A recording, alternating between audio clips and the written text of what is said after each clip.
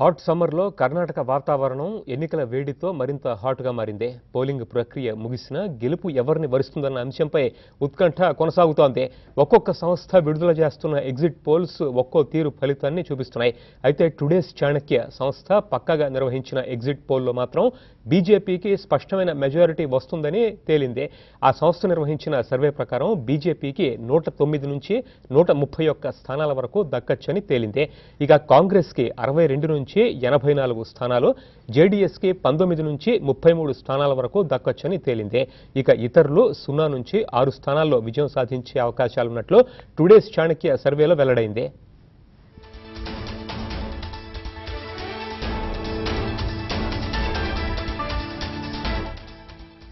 పూర్తి స్థాయిలో శాస్త్రీయంగా సాగిన టుడేస్ చాణక్య సర్వే ఏడు వేల రెండు వందల పద్నాలుగు మంది నుంచి శాంపిల్స్ సేకరించింది.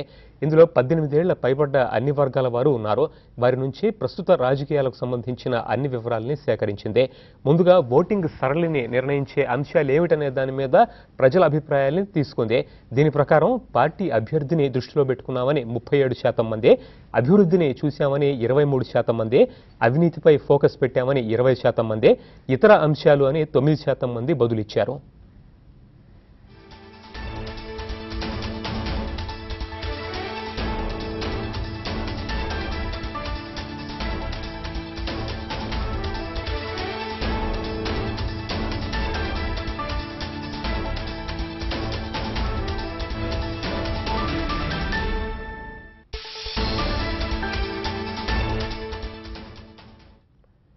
ఇక ప్రభుత్వంలో మార్పు రావాలా అని అడిగిన ప్రశ్నకి నలభై ఏడు శాతం మంది అవును అంటే అవసరం లేదని నలభై శాతం మంది అభిప్రాయపడ్డారు.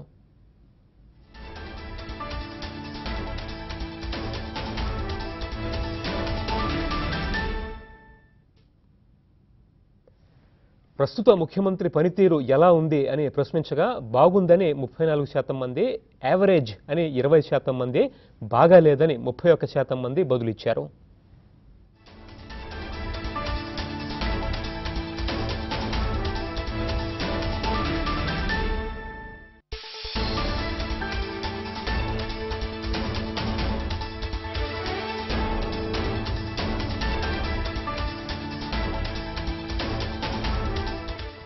ఇక కులాల వారీగా ఎవరు ఎవరికి మద్దతు ఇచ్చారని వివరాలు సేకరించగా లింగాయత్లు అరవై ఒక్క శాతం మంది బీజేపీ వైపు కాంగ్రెస్ వైపు ఇరవై శాతం మంది జేడీఎస్ ఇతరుల వైపు తొమ్మిది శాతం మంది మొగ్గు చూపారు. అలాగే ఒక్కలిగల్లో బీజేపీకి పంతొమ్మిది శాతం కాంగ్రెస్కి పదకొండు జేడీఎస్ వైపు అరవై మూడు శాతం మంది మొగ్గు చూపారు. ఇక మైనారిటీలు ఎక్కువగా కాంగ్రెస్ వైపు ఎస్సీలు బీజేపీ వైపు కురుబలు కాంగ్రెస్ వైపు ఎస్టీలు నలభై నాలుగు శాతం మంది బీజేపీ వైపు ఓబీసీలు యాభై రెండు శాతం మంది బీజేపీ వైపు మొగ్గు చూపినట్లు సర్వేలో తేలింది.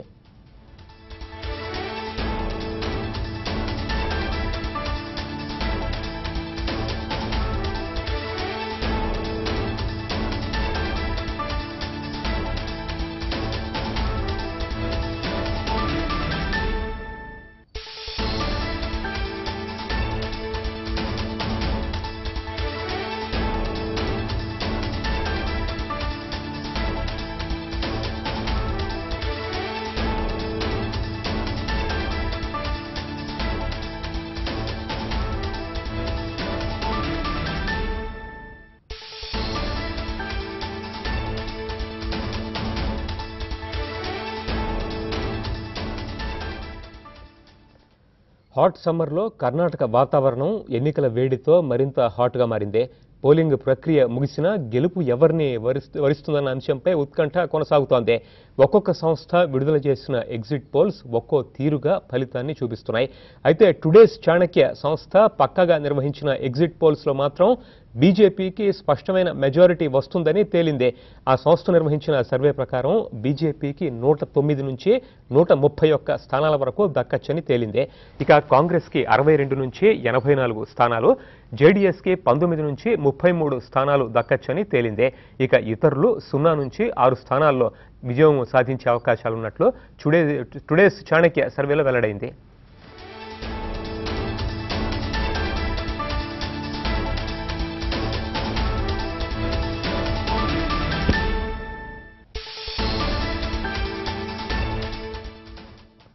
కర్ణాటక ఎన్నికల పర్వంలో పోలింగ్ ఘట్టం ముగిసింది. ఓటర్లు ఎవరి వైపు మొగ్గు చూపారు? ఎవరికి ఎన్ని సీట్లు వస్తాయి? ముఖ్యమంత్రి పీఠాన్ని అధిరోహించేది ఎవరు అనే సందేహాలకి ఈ నెల పదిహేనున సమాధానం దొరకనుంది. అయితే ఎగ్జిట్ పోల్స్ మాత్రం కర్ణాటకలో హంగ్ తప్పదంటున్నాయి. హోరాహోరీగా సాగిన ఎన్నికల్లో కాంగ్రెస్తే స్వల్ప ఆధిక్యం అంటున్న సర్వేలో జేడీఎస్ కింగ్ మేకర్ పాత్ర పోషించడం ఖాయమని కూడా చెబుతున్నాయి. యావత్ భారతదేశం అత్యంత ఆసక్తిగా ఎదురుచూసిన కర్ణాటక ఎన్నికల పోలింగ్ ముగిసింది. అయితే ఓటర్ తీర్పు ఏంటన్న దానిపై మాత్రం ఉత్కంఠ కొనసాగుతోంది. ఫలితాలు తమ వైపే ఉంటాయని కాంగ్రెస్ బీజేపీలు ధీమా వ్యక్తం చేస్తోన్నా ఏ పార్టీ స్పష్టమైన మెజారిటీ వచ్చే సూచనలు కనిపించడండి పోలింగ్ అనంతరం విడుదలైన ఎగ్జిట్ పోల్స్ చూస్తుంటే ఈ విషయం స్పష్టమవుతోంది. టుడేస్ ఛానక్య నిర్వహించిన ఎగ్జిట్ పోల్స్లో బీజేపీకి స్పష్టమైన ఆధిక్యం కనిపించింది. బీజేపీకి నూట తొమ్మిది నుంచి నూట ముప్పై ఒకటి వరకు సీట్లు రావచ్చని అభిప్రాయపడింది. ఇక కాంగ్రెస్కు అరవై రెండు నుంచి ఎనభై నాలుగు వరకు సీట్లు జేడీఎస్కు పంతొమ్మిది నుంచి ముప్పై మూడు వరకు సీట్లు దక్కుతాయని తేల్చింది. టైమ్స్లో ఎగ్జిట్ పోల్స్ గమనిస్తే కర్ణాటకలో హంగ్ తప్పదనే విషయం స్పష్టంగా తెలుస్తోంది. బీజేపీకి ఎనభై నుంచి తొంభై మూడు స్థానాలు వస్తాయని అంచనా ఉండగా కాంగ్రెస్ తొంభై నుంచి నూట మూడు స్థానాలు వస్తాయని తెలుస్తోంది. ఇక జేడీఎస్కు ముప్పై ఒకటి నుంచి ముప్పై తొమ్మిది సీట్లు వస్తాయని తెలుస్తోంది. Republic TV Jan Ki Baat exit polls survey మాత్రం బీజేపీకి అధికార పీఠం దక్కొచ్చనే అభిప్రాయాన్ని వ్యక్తం చేసింది. బీజేపీకి తొంభై నుంచి నూట పద్నాలుగు సీట్లు కాంగ్రెస్కు డెబ్బై మూడు నుంచి ఎనభై రెండు స్థానాలు జేడీఎస్కు ముప్పై రెండు నుంచి నలభై మూడు సీట్లు దక్కొచ్చని Republic TV Jan Ki Baat exit polls survey చెబుతోంది. ఇండియా టుడే ఎగ్జిట్ పోల్స్లో మాత్రం కాంగ్రెస్కు స్వల్పంగా ఎడ్జ్ కనిపిస్తోంది. ఈ సర్వే ప్రకారం బీజేపీకి డెబ్బై తొమ్మిది నుంచి తొంభై రెండు స్థానాలు వస్తుండగా కాంగ్రెస్కు నూట ఆరు నుంచి గరిష్టంగా నూట పద్దెనిమిది స్థానాలు వస్తాయని అంచనాలున్నాయి. ఇక జేడీఎస్కు ఇరవై రెండు నుంచి డెబ్బై సీట్ల వరకు రావచ్చని అంచనా వేసింది. ఎన్డీటీవీ ఎగ్జిట్ ఫలితాలను ఒకసారి గమనిస్తే ఇందులో కూడా బీజేపీకి ఎనభై నుంచి తొంభై స్థానాల వరకు రావచ్చని తేలింది. ఇక కాంగ్రెస్ కూడా తొంభై నుంచి నూట మూడు స్థానాలు సాధించవచ్చని ప్రకటించింది. అంటే రెండు పార్టీలకు దాదాపు సమానంగా స్థానాలు వస్తాయని ఎగ్జిట్ పోల్స్ తేల్చింది. ఇక జేడీఎస్కు ముప్పై ఒకటి నుంచి ముప్పై తొమ్మిది స్థానాల వరకు దక్కవచ్చని తేలింది. సిఎన్ఎన్ ఐబిఎన్ ఫలితాల అంచనాలను పరిశీలిస్తే బీజేపీకి ఎనభై నుంచి తొంభై మూడు కాంగ్రెస్కు తొంభై నుంచి నూట మూడు స్థానాలు దక్కొచ్చని తేలింది. ఇక జేడీఎస్కు ముప్పై ఒకటి నుంచి ముప్పై తొమ్మిది సీట్లు వస్తాయన్న అంచనాలు ఉన్నాయి. మరోవైపు న్యూస్ ఎక్స్ ఎగ్జిట్ పోల్స్ మాత్రం బీజేపీ అధికార పీఠానికి చేరువవుతుందనే అభిప్రాయాన్ని వ్యక్తం చేసింది. కర్ణాటకలో బీజేపీకి నూట రెండు నుంచి నూట పది స్థానాలు కాంగ్రెస్కు డెబ్బై రెండు నుంచి డెబ్బై ఎనిమిది స్థానాలు దక్కవచ్చని తేల్చింది. ఇక జేడీఎస్కు ముప్పై ఐదు నుంచి ముప్పై తొమ్మిది స్థానాలు దక్కొచ్చని సర్వేలో తేలింది. ఇక సువర్ణ టీవీ ఇచ్చిన ఎగ్జిట్ పోల్స్ మాత్రం కాంగ్రెస్కు స్పష్టమైన మెజారిటీ వస్తుందని తేల్చింది. ఆ సర్వే ప్రకారం బీజేపీ డెబ్బై తొమ్మిది నుంచి తొంభై రెండు స్థానాల వరకు పరిమితం కానుండగా కాంగ్రెస్కు నూట ఆరు నుంచి నూట పద్దెనిమిది సీట్లు దక్కుతాయని తేల్చింది. ఇక ఇతరులు అందరికీ కలిపి ఇరవై రెండు నుంచి ముప్పై సీట్లు రావచ్చని తేలింది. ABP news C voter exit poll survey బీజేపీకే ఆధిక్యాన్ని కట్టబెట్టింది.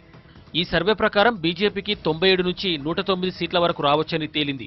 ఇక కాంగ్రెస్కు ఎనభై నుంచి తొంభై తొమ్మిది జేడీఎస్కు ఇరవై ఒకటి నుంచి ముప్పై స్థానాలు రావచ్చని స్పష్టమైంది. మొత్తం మీద ఏ సర్వే కూడా అటు కాంగ్రెస్కు గాని ఇటు బీజేపీకి గాని బంపర్ మెజార్టీ దక్కుతుందని చెప్పలేదు. ఏ పార్టీ అయినా బోటాబోటీ మెజార్టీ సాధిస్తుందని అభిప్రాయపడ్డాయి. ఒక రకంగా చెప్పాలంటే హంగ్ సిచ్యుయేషన్ ఫలితాల గనక ఇదే రీతిలో ఉంటే సరాసరి ముప్పై స్థానాలు సాధించబోయే జేడీఎస్ పార్టీయే కింగ్ మేకర్గా అవతరించడం ఖాయంగా కనిపిస్తోంది. సమరం ముగిసింది ఫలితం మిగిలిందే. కర్ణాటక ఎన్నికల్లో హోరాహోరీగా తలపడ్డ అభ్యర్థుల భవితవ్యాలు ఈవీఎంలలో నిక్షిప్తమయ్యాయి. మూడు నెలల పాటు క్షణం తీరిక లేకుండా గడిపిన పోటీదారులు ఓటర్ దేవుడిచ్చిన తీర్పు కోసం మరొక మూడు రోజులు ఆగాల్సిందే. దాదాపు డెబ్బై శాతం పోలింగ్ నమోదు కావడంతో అన్ని పార్టీలు గెలుపోవటముల లెక్కల్లో మునిగి తేలుతున్నాయి. రెండు వేల పంతొమ్మిది ఎన్నికలకు సెమీఫైనల్గా భావించిన కర్ణాటక ఎన్నికల పోలింగ్ ముగిసింది. చిన్న చిన్న ఘటనలు మినహా అంతా ప్రశాంతంగా సాగిన ప్రక్రియలో దాదాపు డెబ్బై ఐదు శాతం మంది ఓటు హక్కు వినియోగించుకున్నారు. పోలింగ్ జరిగిన రెండు వందల ఇరవై రెండు స్థానాల్లో రెండు వేల ఆరు వందల మంది అభ్యర్థులు పోటీ పడ్డారు. చిన్న చిన్న పార్టీలు ఎన్ని ఉన్నా ప్రధానంగా పోటీ మాత్రం కాంగ్రెస్ బీజేపీ జేడీఎస్ మధ్యనే సాగింది. ఇక పోలింగ్ విషయానికి వస్తే ఉదయం ఉత్సాహంగా సాగిన పోలింగ్ పన్నెండు గంటల సమయానికి మందగించింది. కానీ మధ్యాహ్నం రెండు గంటల తర్వాత మళ్ళీ పోలింగ్ పుంజుకుంది. బెంగళూరు సహా రాష్ట్రంలోని అనేక ప్రాంతాల్లో వర్షాలు కురుస్తాయని వాతావరణ శాఖ హెచ్చరికలు జారీ చేసినా అలా జరగకపోవడంతో ఓటర్లు ఊపిరి పీల్చుకున్నారు. పెద్ద సంఖ్యలో తరలివచ్చి ఓట్లు వేశారు. రెండు వేల పదమూడు ఎన్నికల్లో డెబ్బై శాతం నమోదైన పోలింగ్ ఈసారి కాస్త ఎక్కువే జరిగింది. అత్యధికంగా రామనగర చిక్బల్లాపూర్లో డెబ్బై ఆరు శాతం ఓటింగ్ నమోదైంది. ఐటీ సిటీ బెంగళూరు అర్బన్ ఈసారి కూడా అత్యల్పంగా నలభై ఎనిమిది శాతం ఓటింగ్ నమోదు చేసుకుంది. గత ఎన్నికల్లో ఇక్కడ యాభై మూడు శాతం పోలింగ్ జరిగింది. పోలింగ్ డే బెంగళూరు ప్రజలకు సెలవు రోజుగా మారింది. సీఎం సిద్దరామయ్య పోటీ చేస్తున్న బదామిలోనూ తక్కువగా పోలింగ్ జరిగింది. ఇక్కడి ప్రజలు ఉపాధి కోసం వలస వెళ్ళడం ఇందుకు కారణం. పోలింగ్కు కొన్ని చోట్ల ప్రకృతి కూడా అవరోధంగా మారింది. నలభై మూడు డిగ్రీల ఎండతో కలబుర్గిలోనూ పోలింగ్ పర్సంటేజ్ తగ్గింది. హుబ్లీలో మధ్యాహ్నం వర్షం కురిసింది. దీంతో కాసేపు ఇబ్బంది కలిగింది. పోలింగ్ కేంద్రాలకు వచ్చిన ఓటర్లు చుట్టుపక్కల తలదాచుకున్నారు. ఇక తమకు గ్రామ పంచాయతీ భవనం కట్టించలేదని చిత్తాపూర్ తాలూకాలో తర్కాస్పేట అనే గ్రామం ఓటింగ్ను బహిష్కరించింది.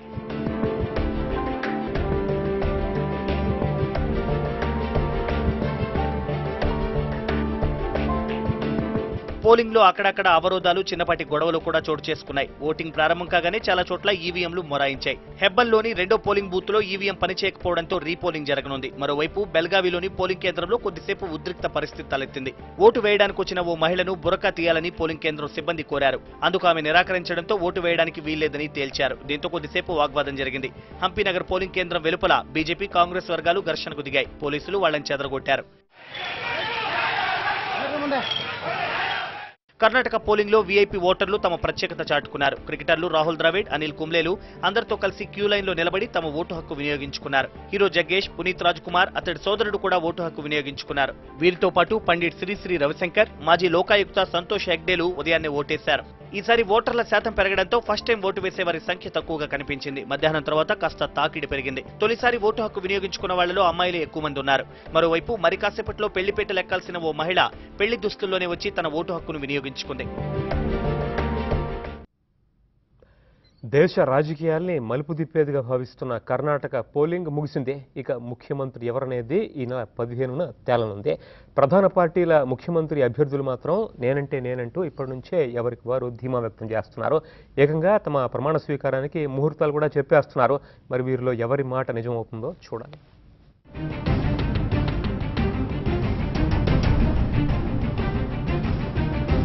ఈ నెల పదిహేడున ప్రమాణ స్వీకారం చేస్తా and we are going to form the government on 17th. మళ్ళీ సీఎం నేనే I will be the next chief minister. ప్రజలు జేడీఎస్కే పట్టం కట్టారు People already decided to bless JDS party in this election. ఇందులో ఎవరి మాట నిజం ప్రజలు ఎవరికి పట్టం కట్టారు ఎవరిని సీఎం అభ్యర్థిగా ఎంచుకున్నారు వీటన్నిటికీ సమాధానం దొరకాలంటే పదిహేనవ తేదీ వరకు ఆగాల్సిందే కానీ బీజేపీ కాంగ్రెస్ జేడీఎస్ పార్టీల సీఎం అభ్యర్థులు మాత్రం ఎవరికి వారు తనను తాను సీఎంగా ప్రకటించుకుంటున్నారు?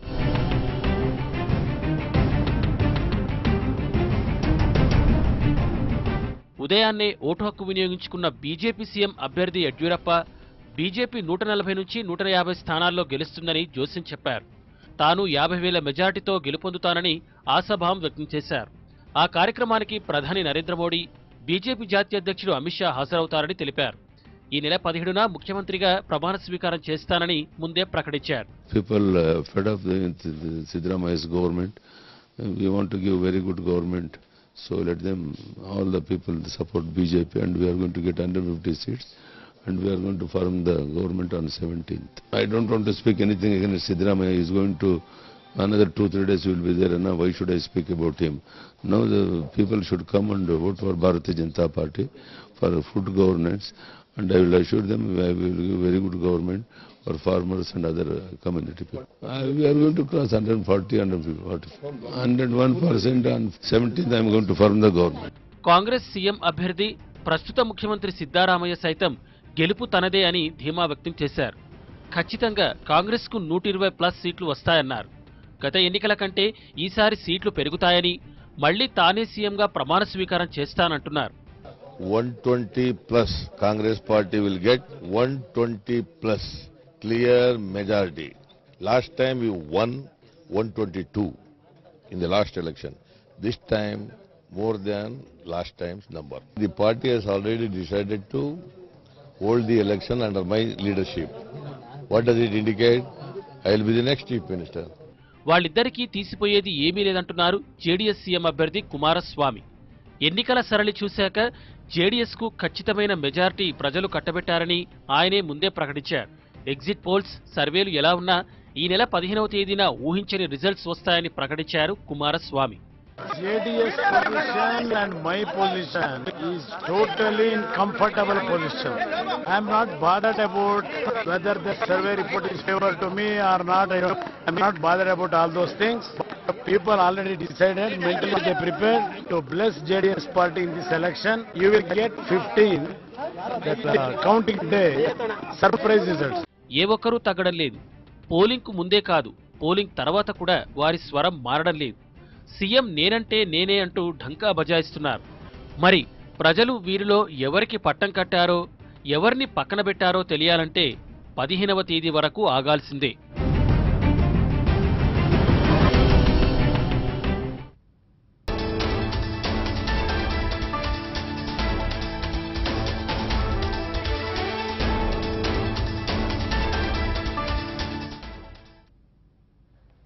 తెలుగోడితో పెట్టుకుంటే కేంద్రం గజగజలాడాలని సీఎం చంద్రబాబు అన్నారు. ఆంధ్రప్రదేశ్కి అన్యాయం చేస్తే ఊరుకోవునే ప్రసక్తే లేదని చెప్పారు.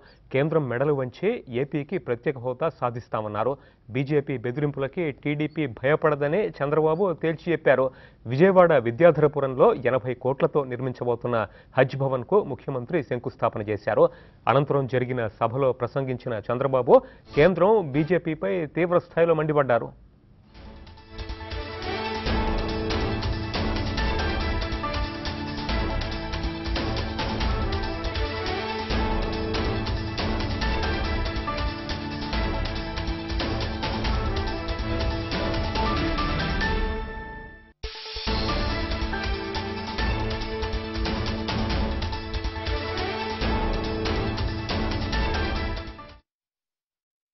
కర్ణాటక ఎన్నికలు అయిన తర్వాత ఈ రాష్ట్రంలో మనల్ని చుక్కలు చూపిస్తామని మాట్లాడారు.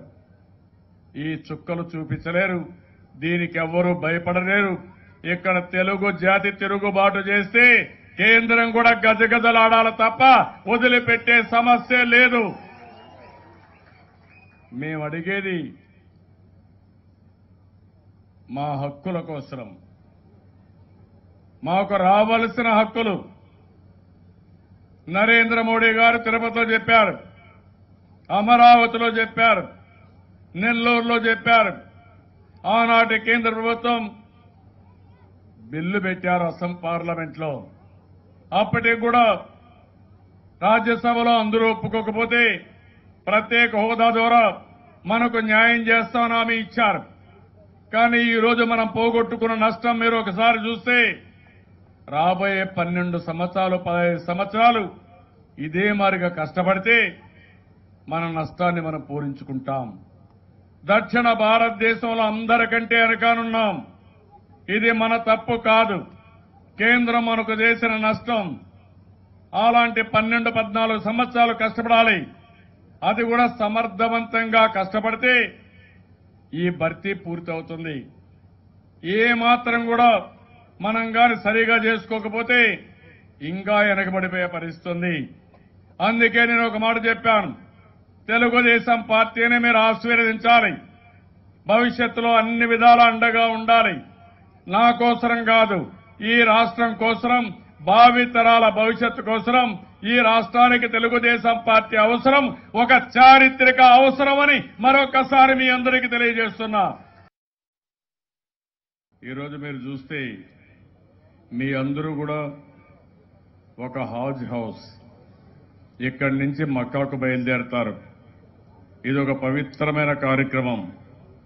ఈరోజు ఈ కార్యక్రమాన్ని చూస్తే ఒకప్పుడు హైదరాబాద్లో హాజ్ హౌస్ లేకుండా అందరూ కూడా బాంబేకి వెళ్ళి అక్కడి నుంచి మక్కాకు పోయి మళ్ళీ తిరిగి వచ్చేవారు.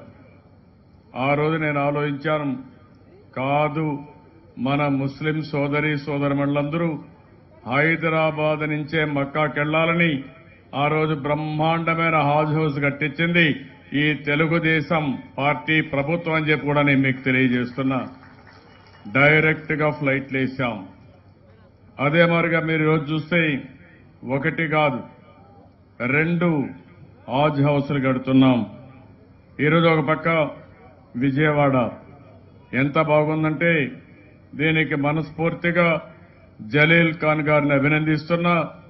ఈ యొక్క స్థలానికి ఎవరైతే కమిటీ మెంబర్స్ ఉన్నారో వారందరినీ మీ అందరి తరపున అభినందిస్తున్నానని చెప్పి కూడా నేను మీకు తెలియజేస్తున్నాను.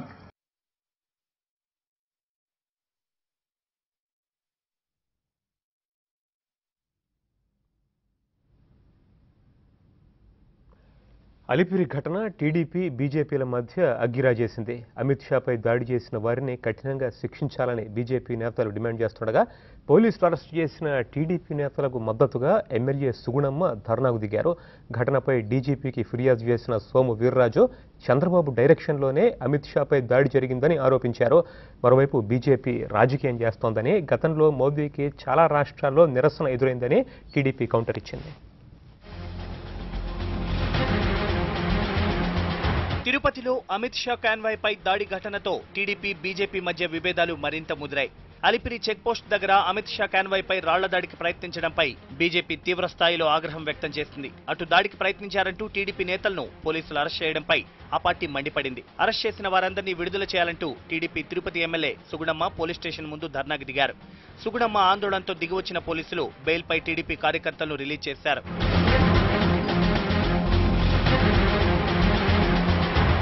తిరుమల నాలుకాళ్ళ మండపం వద్ద బీజేపీ ఆందోళనకు దిగింది. దైవదర్శనం కోసం వచ్చిన వ్యక్తిపై దాడి చేయడమేంటని ఎమ్మెల్సీ సోము వీర్రాజు మండిపడ్డారు. చంద్రబాబు డైరెక్షన్లోనే దాడి జరిగిందన్నారు. బీజేపీని రెచ్చగొట్టాలని చూడొద్దని సోము వార్నింగ్ ఇచ్చారు.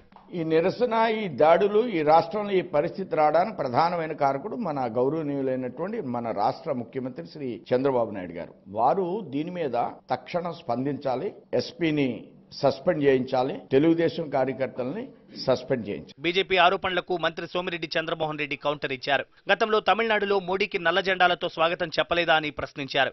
బీజేపీ రాజకీయాలు చేయడం మానుకోవాలని సోమిరెడ్డి హితవు పలికారు. తమిళనాడుకి ప్రధానమంత్రి మోడీ గారు పోతే నల్ల జెండాలు చూపించారే? నిర్మలా సీతారామన్ గారు పోతే చెప్పులు రాళ్ళు వేశారే? నిన్న ఒక సంఘటన జరిగింది. ముఖ్యమంత్రి గారు ఖండించారు. దురదృష్టం. వీఆర్ టేకింగ్ యాక్షన్ పోలీస్ కేసులు పెడుతుంది. వాళ్ళందరినీ లోపలేస్తుంది. దాడి చేసింది. మీరు కూడా ఇంకొకరి గురించి మాట్లాడాలనా? మేము మేము ఇచ్చిన ఎన్నికల వాగ్దానాలు. Ninety more than ninety percent implement చేశాం. ఇక అమిత్ షాపై జరిగిన దాడిపై డీజీపీ మాలకొండయ్యను కలిసి ఫిర్యాదు చేశారు ఏపీ బీజేపీ నేతలు. నిందితులను కఠినంగా శిక్షించాలని కోరారు. ఘటనపై విచారణ జరిపి బాధ్యులపై చర్యలు తీసుకుంటామని డీజీపీ హామీ ఇచ్చారు. అమిత్ షా కాన్వాయ్పై రాళ్ళ దాడి జరగలేదని స్పష్టం చేశారు. తిరుపతిలో జరిగిన దాని మీద ఒక రిప్రజెంటేషన్ ఇచ్చారు. రాళ్ళదాడి జరిగింది అంటారు రాళ్ళదాడి జరగలేదని వారు చెప్పాం క్లియర్గా చెప్పాము అది. కాన్వా వెళ్ళిపోయింది. ఏడో వెహికల్ కూడా స్లో డౌన్ అయింది. స్లో డౌన్ అయినప్పుడు వెనకాల ఒక అతను కర్రతో కొట్టాడు. డ్యామేజ్ అయిన తర్వాత వాళ్ళు బండి ఆపారు. బండి ఆపి దిగారు. దిగిన తర్వాత ఈ పట్టుకున్నారు ట్రాఫిక్ చేస్తే ఇతను పట్టుకున్నారు. అయిన తర్వాత కేసు పెట్టి అరెస్ట్ చేశారండి. అరెస్ట్ చేసిన తర్వాత మ్యాజిస్ట్రేట్ కూడా ప్రొడ్యూస్ చేయడం జరిగింది. మొత్తానికి అమిత్ షా తిరుమల టూర్ ఏపీ రాజకీయాల్లో హీట్ పెంచింది. ఇరు పార్టీల నేతలు పరస్పర విమర్శలతో మరింత కాకరా చేస్తున్నారు. పంట పండించే ప్రతి రైతుకు పెట్టుబడి సహాయం అందిస్తామని మంత్రి హరీష్ రావు చెప్పారు. అన్నదాత బ్రతుకు బాగుపడే వరకు పథకాన్ని కొనసాగిస్తామన్నారు. రైతుల కోసం తప్పించే కేసీఆర్ వంటి వ్యక్తే ముఖ్యమంత్రిగా ఉండడం తెలంగాణ ప్రజల పాలిట వరమన్నారు. ఎన్నికల్లో ఇచ్చిన హామీలతో పాటు పన్నెండు వేల కోట్ల రూపాయలు రైతులకు సహాయం ఇవ్వడం చరిత్రాత్మకమన్నారు హరీష్. సిద్దిపేట జిల్లాలో పలు గ్రామాల్లో మంత్రి రైతులకి కొత్త పాస్ పుస్తకాలు చెక్లు పంపిణీ చేశారు. కాంగ్రెస్ తెలుగుదేశం గవర్నమెంట్లు నీటి తీరువా వసూలు చేసిండ్రు ముక్కు విండి. భూమి శిస్తు వసూలు చేసిండ్రు. పోని బ్యాంకుల అప్పు తెచ్చుకుందామంటే పాలమాకుల సిండికేట్ బ్యాంకు చుట్టూ తిరగంగా తిరగంగా కాళ్ళ చెప్పులు అరగంగా వాడు అప్పు ఇయ్యనీకి కూడా నాలుగు సార్లు తిరగాల్సి వచ్చు. అప్పు కోసం కూడా రైతు అడుక్కునేటువంటి పరిస్థితి ఉండేది. కానీ నేడు మన ముఖ్యమంత్రి కేసీఆర్ గారు అప్పు అవసరం లేదు. మా రైతు నంగునూరు ఊళ్ళకేలి కాలు బయట పెట్టాల్సిన అవసరం లేదు. మన గ్రామానికే వచ్చి ఎకరానికి ఎనిమిది వేల రూపాయల పెట్టుబడి సహాయాన్ని ప్రతి రైతుకు కూడా ఇస్తా ఉన్నాం. ఇది అందరికి ఇస్తాం పట్టా భూమికి ఇస్తాం అసైన్డ్ భూమికి ఇస్తాం ఇనాం దొయ్యకి ఇస్తాం ఉండే ఆర్ఓఎఫ్ఆర్ భూములకు కూడా ఇస్తాం. అంటే దుక్కు దున్నే ప్రతి రైతుకు పంట పండించే ప్రతి రైతుకు ఈ పెట్టుబడి సాయం చేయాలన్నది మన ముఖ్యమంత్రి కేసీఆర్ గారి ఆలోచన. మరి ఈరోజు రాష్ట్రంలో యాభై ఎనిమిది లక్షల మంది రైతులకు పన్నెండు వేల కోట్ల రూపాయల పెట్టుబడి సహాయం చేస్తా ఉన్నాం. ఇది ఒక్క పంటకే ఇస్తారా? ఒక ఏడాదే ఇస్తారా? అనే ప్రశ్న మీరు అడగాలి. ఇది మన ముఖ్యమంత్రి గారి కళ ఒక పంటకో ఒక ఏడాదికో కాదు మా రైతు బతుకు బాగుపడేదాకా రైతు కోరుకున్నంత కాలం ఈ రైతు పెట్టుబడి సహాయం పథకం కొనసాగుతుంది. ఎన్ని రోజులైనా ఇది ఇవ్వాల్సిందే. రేపు పెంచాల్సిందే అనేటువంటిది మన ముఖ్యమంత్రి గారి ఆలోచన. ఇట్లా ఒకటొకటిగా చేస్తున్న ముఖ్యమంత్రి. అసలు ఈ రాష్ట్రంలో మీరు ఒక్కసారి ఆలోచన చేయండి. గతంలో ఎన్నికల ముందు హామీలు ఇచ్చి ఎన్నికల తర్వాత మర్చిపోయిన ముఖ్యమంత్రులను చూసినాం. మాట తప్పిన వాళ్ళని చూసినాం. కానీ మన ముఖ్యమంత్రి గారు ఎన్నికల్లో హామీ ఇవ్వకపోయినా ఎన్నికల్లో హామీ ఇవ్వని వాటిని కూడా అమలు చేసిన ముఖ్యమంత్రి గారు. ఎన్నికల రుణమాఫీ చేస్తా అన్నాడు అయిపోయింది ఆడికే. కానీ ఎన్నికల్లో హామీ ఇవ్వకపోయినా రైతుకు పన్నెండు వేల కోట్ల రూపాయలు ప్రతి సంవత్సరం పెట్టుబడి కింద ఇచ్చిన ముఖ్యమంత్రి.